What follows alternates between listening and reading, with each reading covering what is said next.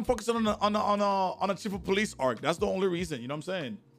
I'm more focused on the chief of police arc, and I, I want I want to be I want to be chief.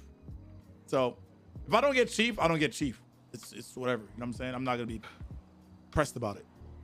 Mm. You know?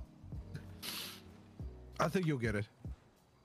Like I said, I think it's between you and Brian, but I think you'll get it. Although it's gonna be a very tough battle. Hold on a second. What is, bro?